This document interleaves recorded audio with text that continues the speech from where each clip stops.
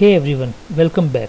So in the last some videos we learned how to make a dynamic list in Ionic 5 using the data fetched over an API.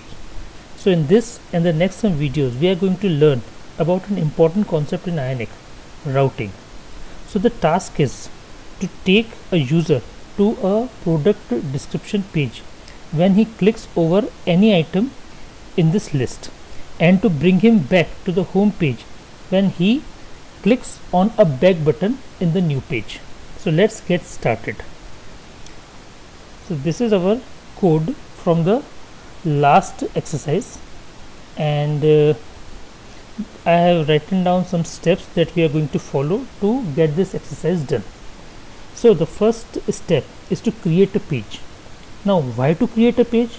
Because when a user clicks on a product or we can say in general if the user clicks on an item of the list he must be directed to another page. So if we want a user to be directed to another page that page must first reside into our application. So let's create a page first. So the ionic command to generate a page is ionic generate. And see we can generate a lot of other things as well with the help of ionic generate command and these are page component service module class directive and guard. I remember just a couple of videos back we were working with classes and uh, i did it manually. And now i can see that uh, i could have done it with the help of ionic generate command. So let's get on with our page uh, let's get on with generating our page. And now it is asking about the path of the page. So guys i am going to put all my pages inside a pages folder and the name of this page will be product details. Which it is. And see guys uh, i think 1 2 3 4 5 6 6 files have been generated and app routing module.ts file has been updated. So let's see the changes in code or in the project structure. See this is our app folder and this is a new folder pages that is being generated by this command and we have got another folder product details inside this pages folder that contains six files.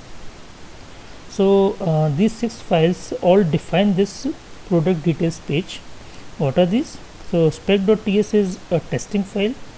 Page.ts is the page i mean is the file where the code or the logic of for this page will be written down. This is the css file. This is the html file the presentation files and this is module.ts it defines the some uh, dependencies of this module. And this is uh, product details routing module. It will contain the routing information uh, if present inside the product details page. So at present we need the product details page.html so this is our page. And let me give it some content so that it could be identified let me give it a, an ion label. And this is a product details page. So okay uh, we have got some content inside this uh, product details page and uh, there is one updation in app routing module.ts let's see to it.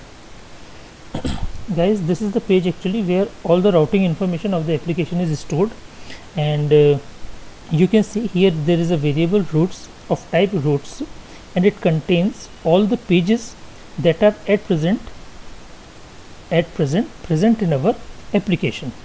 See we have got a home page and now we have got a product details page. Let me run the application. I want to show you something. Let me run ionic serve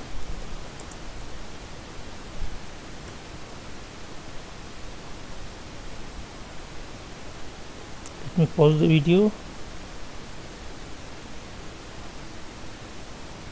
So guys our application is up and running and let me minimize the project explorer because I want to show you something here.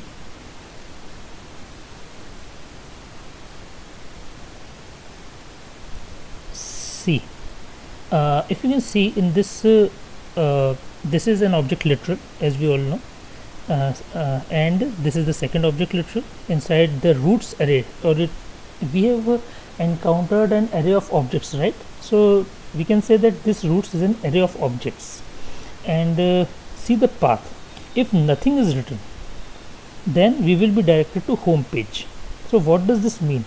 If this is our url actually this is the actual url of our application. This is the localhost the machine and 8100 is the port number and nothing is written here.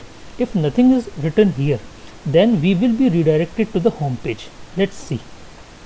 Let me put our cursor here and let me put do an enter. See as I wrote nothing here I wrote nothing here and I hit enter it redirected us to home page.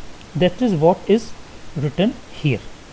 And what if I put this product details in front of localhost 8100 see our product details page will be uh, loaded.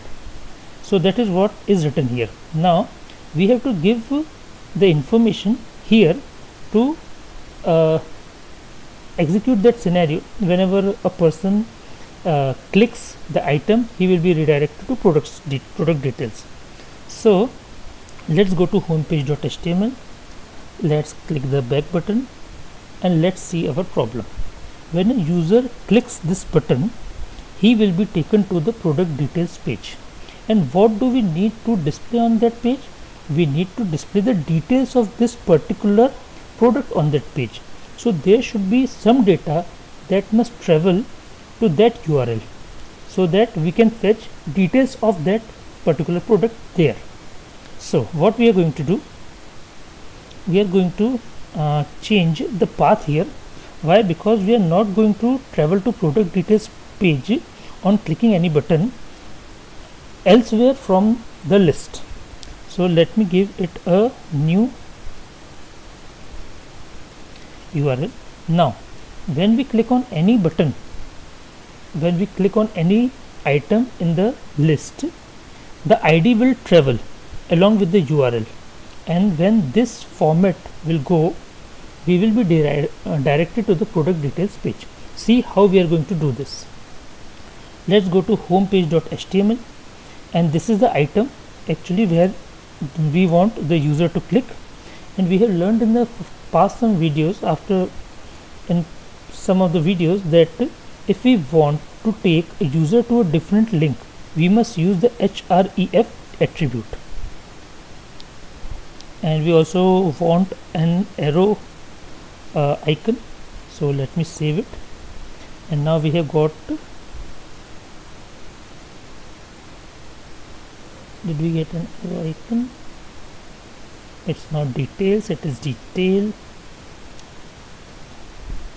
And we have got an arrow icon it is clickable. And let me put the url so we want to go to home and we want to send the product id along with it. So let me put double curly braces and we are getting the product from here. So let me copy this and put in an ID and let me save it. And now let's see what happens. Let me click here. And if you can see as I clicked on an item we are redirected to product details page and see the URL localhost 8100 slash home slash 43900 now this 43900 is this product ID written here. So guys now i think it's clear to you how to do navigation in ionic 5 now the task is not completed. We have to navigate back to the home page as well. So we need to do some work here just remove this ion title and we are going to put a button here. So let's do let's use ion buttons. Because if you remember in our ionic toolbar uh, video uh, we studied we learned that in order to put buttons inside an ionic toolbar we need to group them with the help of ion buttons element. And these ion buttons are placed inside the ion toolbar with the help of slots. So i am giving it lot of start. In order to have a back button we must use ion back button element and in order to take us back okay let's go and search about ion back button in official ionic documentation